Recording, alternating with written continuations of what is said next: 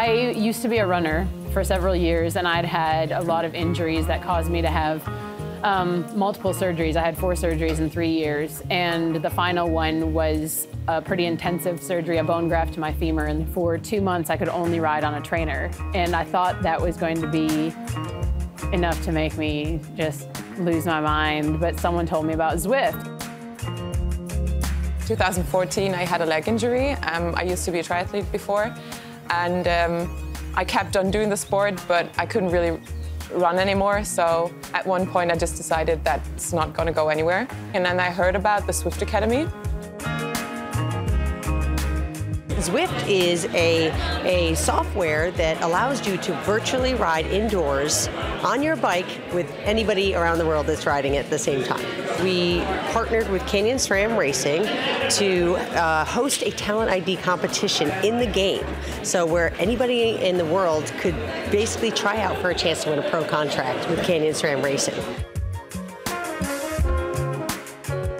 I got to the semifinals and it was almost I don't want to say a joke. I mean, was, I worked very hard at it, but my friends were just like, I hadn't even been on a bike for a year. And I was like, can you imagine? What if I go to Mallorca and then they're just like, you can't ride a bike, you know? And, but I was just like, I just want to get there. I want to have that experience and I want to meet these girls and I want to see what that life is like. But I won't win. Even if I make it to Mallorca, I won't win. And then I won and my life changed. I mean, you think about winning, you think about how it might be, but you actually never really think that it's gonna happen. And like in the finals, like hearing my name still gives me like goosebumps. You know that from one second your dream comes true and your life is gonna change completely. So it was just like an incredible feeling. I had my final exams during the semifinals.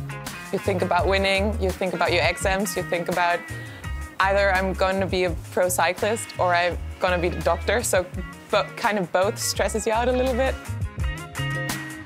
I think a lot goes through your mind. You know, it's like disbelief and excitement and I won't lie and say it wasn't a little bit terrifying because suddenly, I mean, I had a very stable job and I had a very stable, normal, not near as exciting or adventurous, but I had I had a life. But yeah, it was intimidating just to race and with and for the girls that you admire that much. Um, because you know, just know them from TV and like watching races, and you look up to them, and suddenly you're like sharing your room with them, and yeah, they're like just like your friends, your teammates. Well, my biggest ambition, I'd say, is to um, to prove myself and to be the best teammate I can be um, which worked out quite well in Yorkshire, I guess. Um, I think I did a good job there. Like the behavior from the girls towards me changed like from stage to stage when they saw like, okay, they can really work with me and I support them like 100%.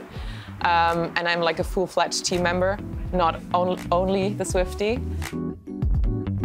We're trying to fit in and not be in the way, and then the girls want to be accepting, but also, you know, you're a top-ranked team in the world, and suddenly you've got two riders that want to be part of that team and want to help, but really hadn't quite found the niche how yet. So I think it's just been a challenge. I literally haven't been on a bicycle for three years, and most of these girls have been doing it since they were 10. So I try to still give myself a little grace, but at the same time, it's like at some point you have to adapt to those things and step up. And I've improved so, so much as a cyclist. I kind of feel that I want to prove that Zwift Academy is a good thing, that there's not only like one way into the peloton. Because, yeah, for example, if you have been in, in another sports that include cycling, as I've been, um, maybe you have the performance, just not like the connections to get into teams.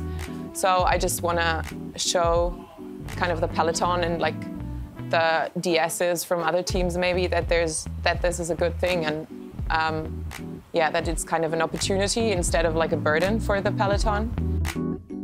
And um, yeah, so far I'm just happy to be in the team and I enjoy every single moment.